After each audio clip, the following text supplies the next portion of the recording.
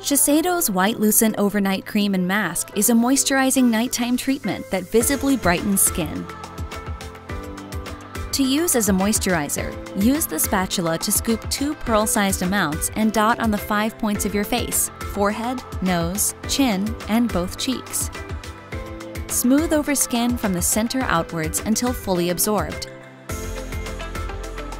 For deeper overnight brightening benefits, take an almond sized scoop and dot on the five points of your face and smooth over your skin in a thick, even layer. Apply as the last step in your nighttime skincare routine and wake up to visibly brighter skin.